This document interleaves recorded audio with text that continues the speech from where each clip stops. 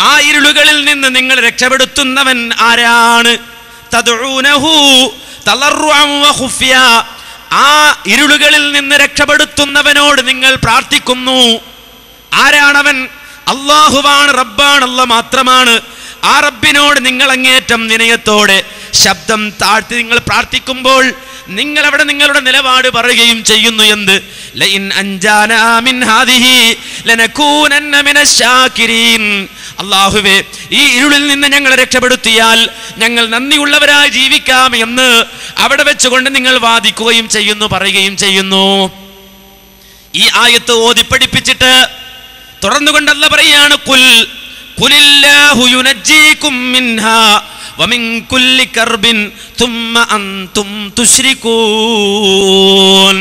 ഈ ആയത്ത് ജബ്ബാർ മൗലവിക്ക് ബാധകമാണ്. ഈ ആയത്ത് ഹുസൻ മൗലവിക്ക് ബാധകമാണ്. ഈ ആയത്ത് ലോകത്തുള്ള മുഴുവൻ ആളുകൾക്കും ബാധകമാണ്. അല്ല പറയുന്നു കുൽ നബിയെ താങ്കൾ പറയൂ അല്ലാഹു യുനജ്ജീകും മിൻഹാ. ആ ഇരുട്ടിൽ നിന്ന് നിങ്ങളെ രക്ഷപ്പെടുത്തുന്നവൻ അല്ലയാണ് കർബിൻ. എല്ലാ പ്രയാസങ്ങളിൽ നിന്നും നിങ്ങളെ രക്ഷപ്പെടുത്തുന്നവൻ അല്ലയാണ് തുമ്മ അന്തും ആ ഇരുട്ടിൽ നിന്ന് രക്ഷപ്പെട്ട് നിങ്ങൾ വെളിച്ചത്ത് വന്നിരുന്നിട്ടോ? ജിന്നിനെ പറ്റി പറഞ്ഞ് ശിർക്ക് വാദിക്കുകയാണോ? തുമ്മ അന്തും വെളിച്ചത്ത് വന്നിരുന്ന് നിങ്ങൾ ശിർക്ക് പറയുകയാണോ മനുഷ്യരെ? ശിർക്ക് വാദിക്കുകയാണോ മനുഷ്യരെ എന്ന് ഖുർആൻ ചോദിക്കുമ്പോ മാന്യ സഹോദരങ്ങളെ ഖുർആാനിന്റെ ഈ വാദത്തിനെതിരെ ഒരു വാദം കേരളത്തിന്റെ മണ്ണിൽ അവതരിപ്പിച്ച ആളുകൾക്ക് പിന്തുണ നൽകാൻ ഉസൻ മൗലവി വന്നാൽ കേരളത്തിലെ മുജാഹിദികൾ അദ്ദേഹത്തെ ചവിട്ടി പുറത്താക്കും സംശയമില്ല. ആദർശഗോതയിൽ അദ്ദേഹം ഔട്ട് തന്നെയാണ് സംശയമില്ല. കാരണം അദ്ദേഹം അദ്ദേഹത്തിന് അല്ല നൽകിയ അനുഗ്രഹത്തെ ഉപയോഗിച്ചത് ശിർക്ക്വാദികൾക്ക് പിമ്പലം നൽകാനാണ്. ലായിലാഹയില്ലക്കെതിരായ വാദം ഉന്നയിച്ചവർക്ക് പിമ്പലം നൽകാനാണ്. ഒരു തെളിവും പറയാനില്ലാത്തവർക്ക് പിമ്പലം നൽകാനാണ്. മാത്രമല്ല അള്ളാഹുവിന്റെ ചോദ്യം ആ ചോദ്യത്തിനെതിരായ വാദം പറഞ്ഞവർക്ക് പിമ്പലം നൽകാനാണ് അദ്ദേഹം കടന്നു വന്നത്. അതിനുവേണ്ടിയാണ് കെ എൻ എമ്മിനെ വലിച്ചെറിഞ്ഞിട്ട് അതിന്റെ ബാനർ മാറ്റിയിട്ട് അദ്ദേഹം ഇടത്തനാട്ടുകരയിൽ വന്നത്. കേരളത്തിന്റെ വ്യത്യസ്ത ഭാഗങ്ങളിൽ ഇപ്പോൾ പ്രത്യക്ഷപ്പെട്ടുകൊണ്ടിരിക്കുന്നത്. പക്ഷേ വിശുദ്ധ ഖുർആൻ അദ്ദേഹത്തോട് ചോദിച്ചുകൊണ്ടേയിരിക്കും. അദ്ദേഹത്തോട് ചോദിച്ചുകൊണ്ടേയിരിക്കും. അദ്ദേഹത്തോട് മാത്രമല്ല ലോകത്തുള്ള മുഴുവൻ ആളുകളോടും ചോദിച്ചുകൊണ്ടേയിരിക്കും. എന്താ ഖുർആൻ ചോദിക്കുന്നത്?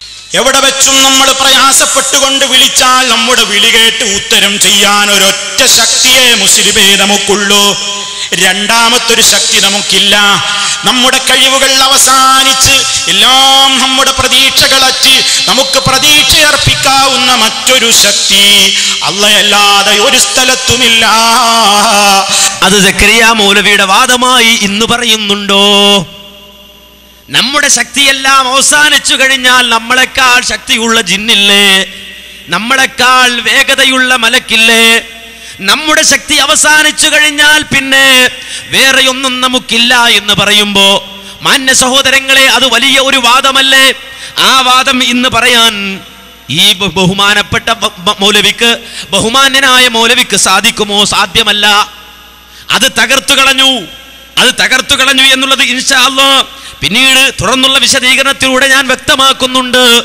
തെളിവുകൾ കൊണ്ട് തന്നെ സംസാരിക്കുന്നുണ്ട്. അതുകൊണ്ട് ഒന്നുകൂടി നമുക്ക് കേൾക്കാം. എവിടെ വെച്ചും നമ്മൾ പ്രയാസപ്പെട്ടുകൊണ്ട് വിളിച്ചാൽ നമ്മുടെ വിളി കേട്ട് ഉത്തരം ചെയ്യാൻ ഒരൊറ്റ ശക്തിയെ മുസ്ലിമേ നമുക്കുള്ളൂ. രണ്ടാമത്തൊരു ശക്തി നമുക്കില്ല.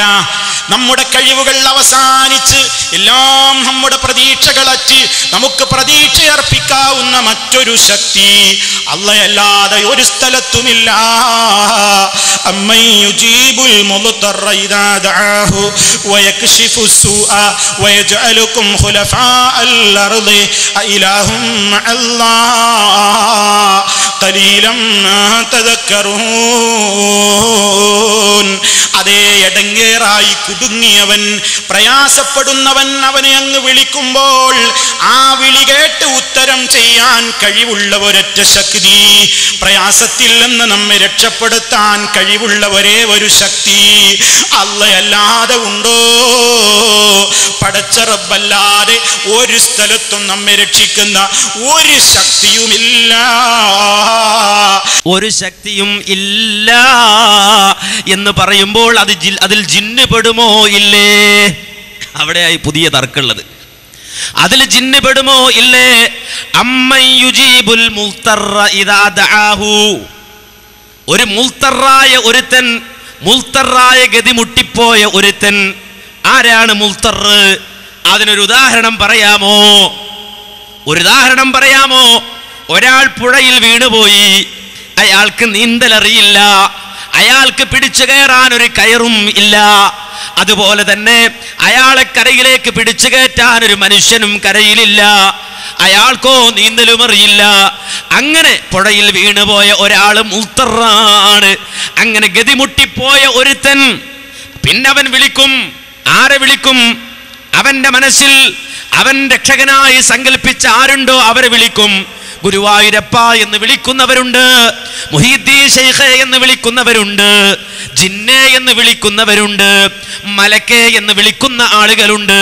ആ രൂപത്തിൽ അവിടെ കിടന്നവർ വിളിക്കുമ്പോൾ ആ വിളിക്കുത്തരം നൽകാൻ കഴിയുന്ന ഒരു ശക്തി ഉണ്ട് എന്നവന് വിശ്വാസമുണ്ടെങ്കിൽ മാന്യ സഹോദരങ്ങളെ അതിനാണ് ശിർക്ക് എന്ന് പറയുന്നത്. അങ്ങനെ ഒരു ശക്തിയേ ഇല്ല. നേരെ മറിച്ച് ആ മുൽത്തറിന്റെ ദ്വാ കേട്ട് ഉത്തരം നൽകുന്നവൻ അല്ല മാത്രമാണ്. അതുകൊണ്ടാണ് ഖുർആൻ പറഞ്ഞത് അമ്മ യുജീബുൽ മുൽത്തറ. ഗതിമുട്ടിപ്പോയ ഒരുത്തൻ ഇതാദാഹു അവൻ വിളിച്ചാൽ അവന്റെ വിളിക്കുത്തരം നൽകുന്നവൻ ആരാണ്? അവന്റെ പ്രയാസം നീക്കിക്കൊടുക്കുന്നവൻ ആരാണ്? നിങ്ങളെ ഭൂമിയിൽ പ്രതിനിധികളാക്കിയവൻ ആരാണ്? അള്ളാഹുവിന്റെ കൂടെ വല്ല ഇലാഹും ഉണ്ടോ? അതാ ഖുർആന്റെ ചോദ്യം. ഇവിടുന്ന് പോകുമ്പോൾ ഈ രണ്ടായത്ത് കൽബിൽ കയറ്റിയിട്ട് പോയാൽ മതി.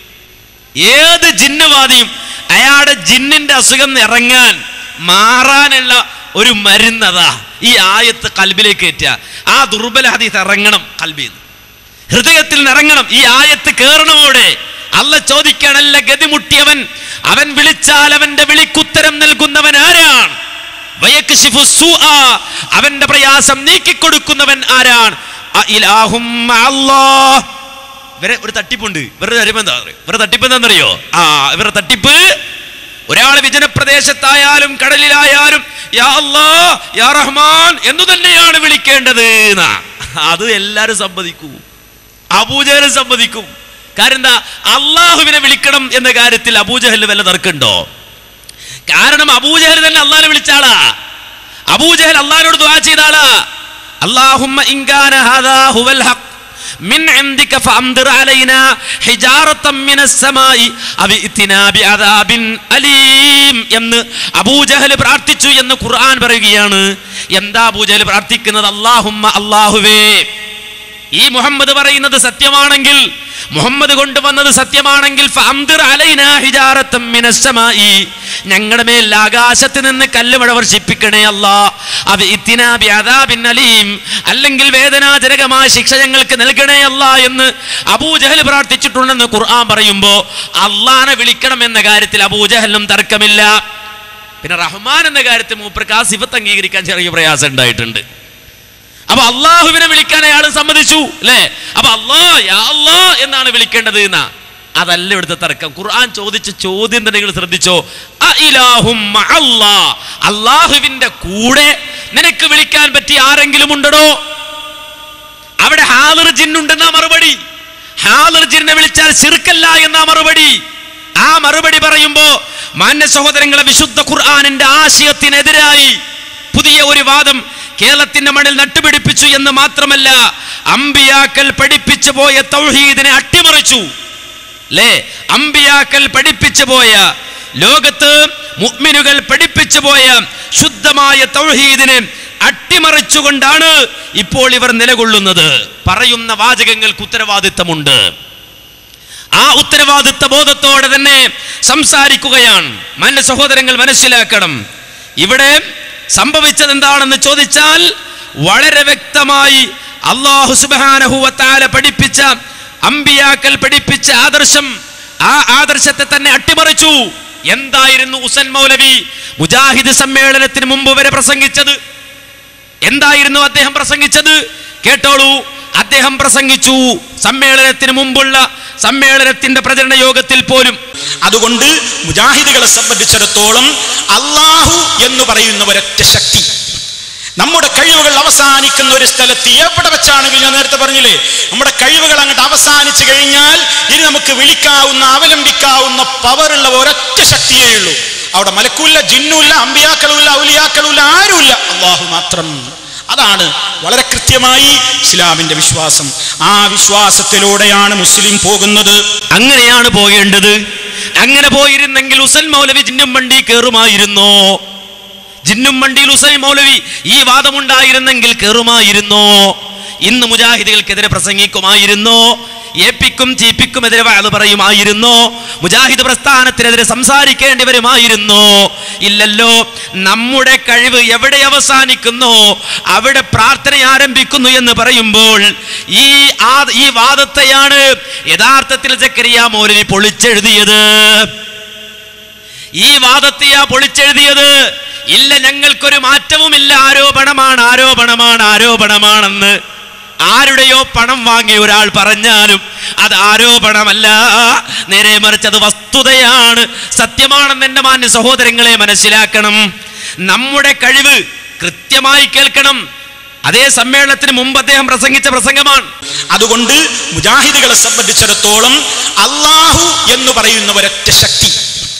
നമ്മുടെ കഴിവുകൾ അവസാനിക്കുന്ന ഒരു സ്ഥലത്ത് എവിടെ വെച്ചാണെങ്കിൽ ഞാൻ നേരത്തെ പറഞ്ഞില്ലേ നമ്മുടെ കഴിവുകൾ അങ്ങോട്ട് അവസാനിച്ചു കഴിഞ്ഞാൽ ഇനി നമുക്ക് വിളിക്കാവുന്ന അവലംബിക്കാവുന്ന പവറുള്ള ഒരൊറ്റ ശക്തിയേ ഉള്ളൂ. അവിടെ മലക്കൂല്ല ജിന്നുമില്ല അമ്പിയാക്കളുമില്ല ഔലിയാക്കളുമില്ല ആരുമില്ല. അള്ളാഹു മാത്രം. അതാണ് വളരെ കൃത്യമായി ഇസ്ലാമിന്റെ വിശ്വാസം. അതാണ് ഇസ്ലാമിന്റെ വിശ്വാസം. അതാണ് ഇസ്ലാമിന്റെ വിശ്വാസം. ആ വഴിക്കാണ് മുസ്ലിം പോകേണ്ടത്. പക്ഷെ ആ വഴിക്കാണോ ജിന്നും വണ്ടി പോണത്?